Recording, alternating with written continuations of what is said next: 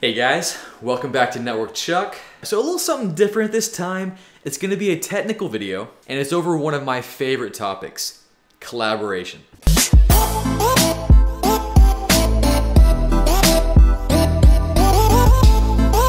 While back I did a video on calling search spaces and the partitions and class of control within Call Manager, so if you don't remember that or if you haven't seen that, check it out here before watching this video. You don't have to, but it helps kind of bring all this together. It's my series on dial plans, so man, solid stuff. So this time, we're gonna cover something cool, and we have a big issue. Like, we have a really big issue. I always say the best way to learn something and actually cement it into that brain is to tackle a problem or get your hands dirty. So that's what we're gonna do. There's a big problem with the Empire's phone system. The, uh, the collaboration engineer who installed the Empire's phone system, he missed a critical piece. Now, to be fair, it wasn't his fault. He uh, kind of encountered an unfortunate end. The rebels' hidden fort. Whatever the case, he's not around and he missed an essential part of the dial plan. He forgot to add routing outside. So within the Death Star, they can all call each other, that's fine. Uh, Stormtrooper to Stormtrooper, Captain to Stormtrooper, uh, Darth Vader to the Emperor, what have you. That's all working great. But when they need to call outside to another planet, another system, it's not happening. That part was not configured, so what do we do? Add on another problem, Captain Tarkin. You remember him? He has a unique problem that we have to tackle right now. The stormtroopers, something's been going on there. There's been talk of desertion. He's going to schedule a team building event, and what better place than the Mos Eisley Cantina on Tatooine?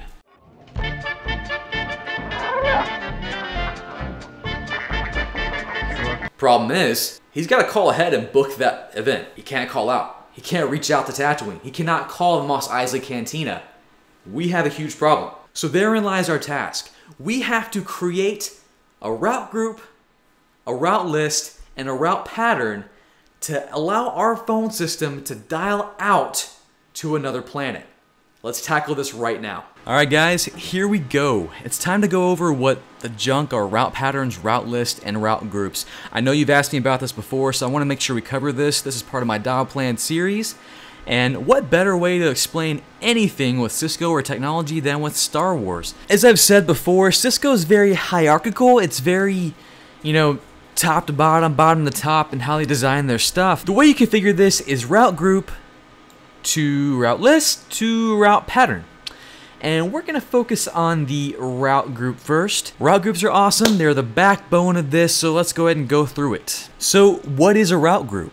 They are essentially just a group of gateways and trunks. So one thing about this route group, route list, route pattern situation is that you can bypass the entire hierarchy. You can actually have just the route pattern go directly to one of these devices here, a gateway or a trunk. So you configure your pattern and you just go directly to one of these bad boys. You don't have to worry about the whole route group or route list thing. You don't have to configure all this stuff. You know what? And that's great for a very simple configuration. But what's often simple may not be the best. So if we can use a route pattern to bypass the route group and route list and go directly to the trunk or the gateway, why waste time with any of this? Glad you asked. First big point, Cisco said to. And you know what? You have to do what Cisco says, or TAC will just get mad at you. No, not really. But Cisco's best practice, they do post a, a, their SRND best practice guide. They tell you this is what they want you to do. This is how they design the system, and I do agree. The second big reason is that it allows for scalability. You know, within a route group, you can add two, three more devices and that gives you redundancy it gives you failover so when you're designing your your phone system when you're designing your dial plan you can't just think about the one single path because if you're if you've been in IT for any amount of time you know one path equals failure because that, that thing is gonna fail I can't tell you how many times I ha I've had a, a a cube device fail or or a gateway or a PRI gateway fail and shame on me, I didn't have a failover. So you know what? The phone system went down. That made me look bad. Even though it was out of my control, the issue that was happening, it was in my control to make sure that redundancy was there. This, this is huge. You want to make sure you do this. Now the third biggest reason, and it's awesome, is route list. Route lists give you so much when you're configuring a path to the outside. If you're going route pattern to trunk or gateway directly, you lose a lot of the, the, the scalability and digit manipulation that you could put on a wider scale and make your life a lot easier. And frankly, you can't do the route list thing without a route group which is why it's important. So route group is there to group your devices in however way and whatever way you need to do it. You could have a lot of devices, you could just have a few. You maybe just have redundant PSTN gateways. So you know what? That's enough theory. Let's uh, let's get our hands dirty, let's get into Call Manager and let's see how you configure these things. So here we are in CUCM Call Manager on the CUCM administration page. Don't judge me, I know I don't have any licenses and I'm gonna expire here in 20 days. I'll figure it out, don't worry. So what we're gonna do here is get our route group configured. And we're gonna configure two route groups, one for the Leia cube and one for the Luke cube. Now, they're named that way by the previous collaboration engineer. Maybe that's why he met his unfortunate demise. Don't know. But let's go ahead and do this. So we already have our trunks configured, so we'll go over here to device and trunk, take a look at what we have. So we've got Luke, we've got Leia. I even have the SIP options ping, so we know they are up. Let's go configure our route groups. So we'll mosey on over to call routing, route hunt, and then over to route group. Going find, we have nothing here. This guy did not do his job. I mean, can't blame him. He got force choked. So let's go ahead and take care of this for him or really for us. So we'll click add new. What's our name? Let's just say Leia Cube. Got a few uh, options here. Since we're only putting one in this route group, doesn't really matter for us, but top down circular, here we go. Now let's, this is where we decide which cube we're gonna choose. Let's go ahead and, uh, no, I don't wanna choose Luke. Choose Leia, add to route group, and click save. That's simple. So we have our route group name, distribution algorithm, we've got our device. You can see that it's configured and ready to go. Uh, we have an add successful. We've got Leia down here, verified as a SIP trunk. If you click that link, it'll take you right to her. Kind of cool. Go back. Oh, doesn't like that. Curse you CUCM. And you notice that the configuration's pretty simple because all this pretty much is is just adding a device to a group, a little container. And then let's go ahead and get our Luke cube going.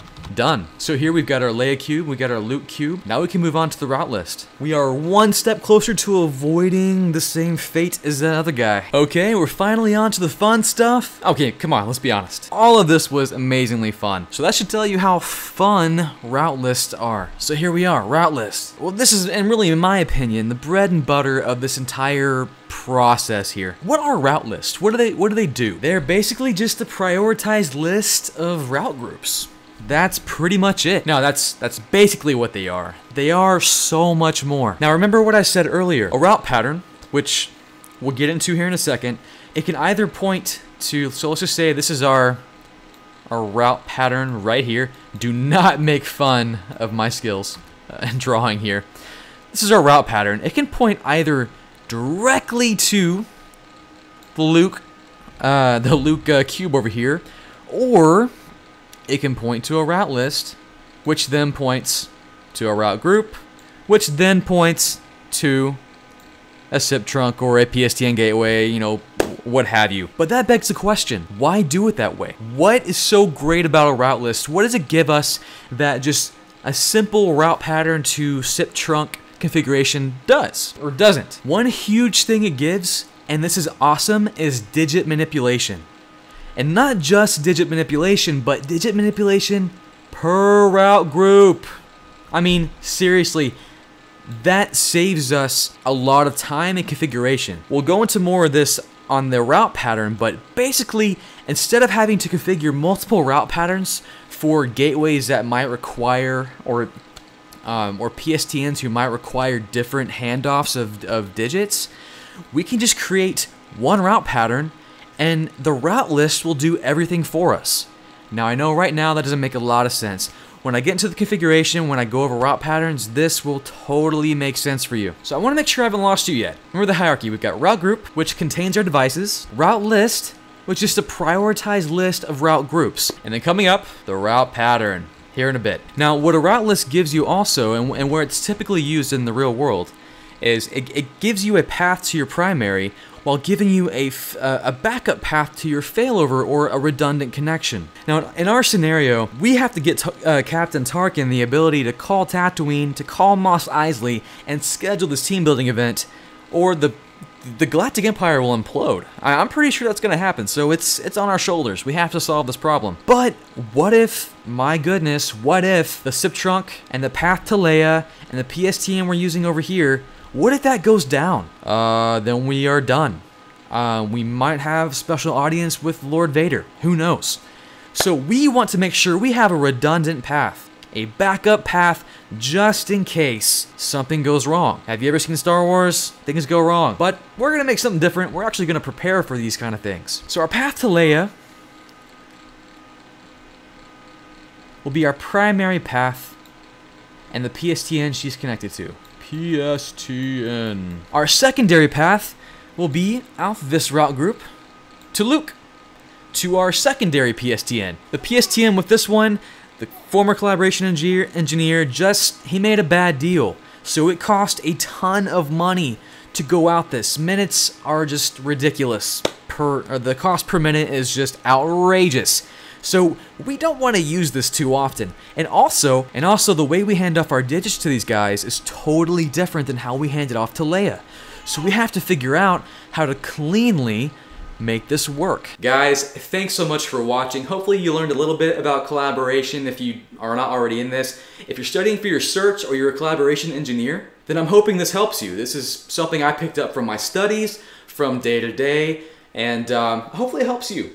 If you haven't already, subscribe. Uh, we, we're at 7,500 now, so that's amazing. Thank you so much for sticking with me. The giveaway is ending on the 15th at 11:59 p.m. Central. So if you haven't already entered to win the CCNA INE giveaway, enter there. I'll put a there'll be a link below. Well, anyways, that's about it. Thanks for watching, guys. Let's get certified together. Catch you next time. So yeah, if you want to uh, be like Walter, if you want to make coffee like Walter White, this is what you do.